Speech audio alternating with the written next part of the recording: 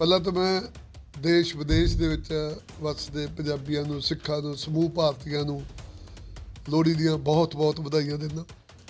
ਔਰ ਮੇਰੀ ਅਰਦਾਸ ਹੈ ਕਿ ਪਰਮਾਤਮਾ ਹਰ ਘਰ ਦੇ ਵਿੱਚ ਲੋਹੜੀ ਦੇ ਮੌਕੇ ਖੁਸ਼ੀਆਂ ਲੈ ਕੇ ਆਵੇ।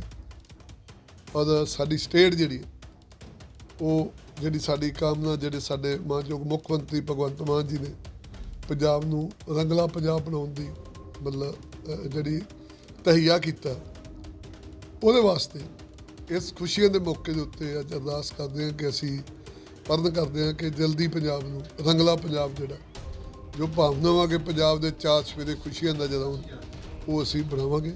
ਸੋ ਮੈਂ ਇਸ ਮੌਕੇ ਦੇ ਉੱਤੇ ਸਭ ਨੂੰ ਜਿਹੜੀਆਂ ਬਹੁਤ ਬਹੁਤ ਵਧਾਈਆਂ ਦਿੰਦਾ ਲੋਹੜੀ ਦੇ ਤਿਉਹਾਰ ਦੇ ਉੱਤੇ ਔਰ ਸਭ ਜਿਹੜੇ ਪਰਿਵਾਰ ਖੁਸ਼ੀ ਖੁਸ਼ੀ ਆਪਣੇ ਘਰਾਂ ਦੇ ਵਿੱਚ ਲੋਹੜੀ ਜਿਹੜੀ ਉਹ ਮਨਾਉਣ ਘਰ ਜੁੜ ਜਾ ਤੱਕ। ਧੱਕੇ ਹੋ ਯਾਰ ਪੰਜਾਬ ਦੇ ਕਾਂਗਰਸੀ ਜਿਹੜੇ ਨਾ ਇਹ ਬੜੇ ਢੀਠ ਹੈ ਤੁਹਾਨੂੰ ਆ ਵੀਡੀਓ ਵੇਖ ਲਈ ਤੁਹਾਨੂੰ ਧੱਕਿਆ ਦੀ। ਇਹਦੇ ਇਹਨਾਂ ਦਾ ਹਾਲ ਵੇਖਣਾ ਹੁੰਦਾ, ਤਾਂ ਉੱਥੇ ਦਿੱਲੀ ਦੇਖਿਆ ਕਰੋ, ਨਹਿਰੂ ਪਰਿਵਾਰ ਦੇ ਬੂਹਿਆਂ ਅੱਗੇ ਕੀ ਹੁੰਦਾ। ਇਹ ਚਾਰ ਚਾਰ ਦਿਨ ਬੈਠੇ ਰਹਿੰਦੇ ਉੱਥੇ। ਸਾਰੀ ਸਾਰੀ ਦਿਹਾੜੀ ਬਾਹਰ ਖਲੋਤੇ ਰਹਿੰਦੇ ਮਿਲਣ ਵਾਸਤੇ ਉਹਦੇ ਇਹਨਾਂ ਨੂੰ ਮਿਲਦੇ। ਇਹ ਤਾਂ ਆਪ ਜਾਂਦੇ ਆ। ਸਮਝਦੇ ਕਿ ਗੱਲ? ਇਹ ਬੜੇ ਬੇਇੱਜ਼ਤੀ ਬਰੂ ਪੰਜਾਬ ਦੇ ਕਾਂਗਰਸੀ। ਇਹ ਨਹਿਰੂ ਪਰਿਵਾਰ ਦੇ ਤੋਂ ਇਹਦਾ ਜਲੀਲ ਹੋਏ, ਪਰ ਇਹਨਾਂ ਦੀ ਜ਼ਮੀਨ ਵੱਧ ਚੁੱਕੀ ਹੈ। ਧੱਕਿਆ ਧੁੱਕਿਆ ਨਾਲ ਇਹਨਾਂ ਨੂੰ ਕੀ ਹੁੰਦਾ ਜੀ? ਇਹਨਾਂ ਦਾ ਜੋ ਮਰਜ਼ੀ ਹੋ ਜੇ। ਇਹ ਇਹਨਾਂ ਇਹਨਾਂ ਦੇ ਕੋਈ ਅਸਰ ਹੋਣ ਵਾਲਾ ਨਹੀਂ ਸਿੱਧੂ ਦੀ ਵਾਪਸੀ ਨੂੰ ਕਿਸ ਤਰ੍ਹਾਂ ਦੇਖਦੇ ਸਿੱਧੂ ਦੀ ਵਾਪਸੀ ਠੀਕ ਹੈ ਸਿੱਧੂ ਆਵੇ ਮੈਦਾਨ ਦੇ ਵਿੱਚ ਪੰਜਾਬ 'ਚ ਆਪਣੀ ਗੱਲ ਰੱਖੇ। ਸਿੱਧੂ ਦੀ ਵਾਪਸੀ ਤੇ ਵੈਲਕਮ ਹੀ ਆ ਕੋਈ ਬੰਦਾ। ਕਾਂਗਰਸ ਨੂੰ? ਬਾਤ ਬੋਲ ਤੇ ਕੀ ਮਿਲਣਾ?